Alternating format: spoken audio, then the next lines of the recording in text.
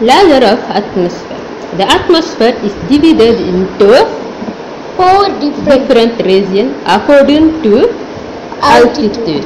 They are troposphere, stratosphere, ionosphere, exosphere. The important point are that the atmosphere is divided into four different regions according to altitude. They are troposphere, stratosphere, ionosphere and exosphere.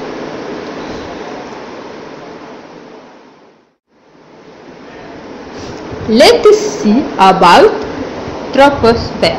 This region extends from the surface Earth to the height of about 8 to 20 kilometers. In this region, the pressure and temperature decrease and we go up. This is the region where the cloud, mist, rain and all weather changes take place. The important points are troposphere height of about 8 to 20 kilometers.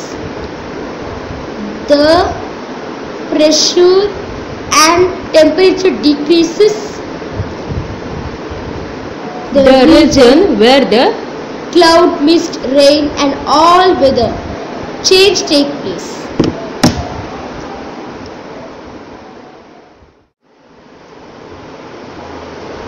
Stratosphere the stratosphere is it about the troposphere. It extends to the height of 64 kilometers. kilometers. Important one.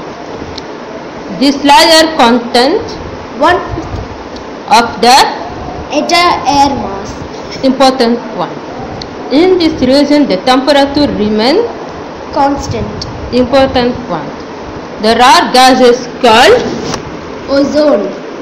Present in this layer absorb the harmful Ultraviolet rays. from the Sun. native.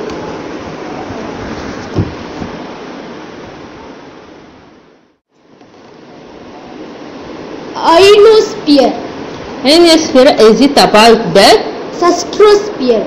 it extends from about 50 to 480 kilometer. The air is extremely thin in this region.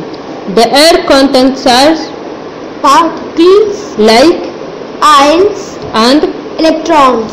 the charge particle from the Sun illu- illuminates the gases of the atmosphere, causing airflow. this layer air- plays a Vital role in long distance radio communication.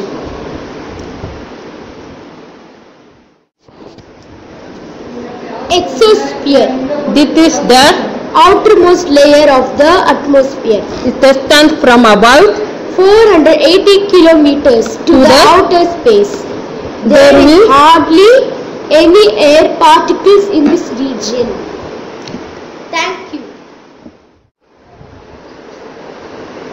Layer of atmosphere.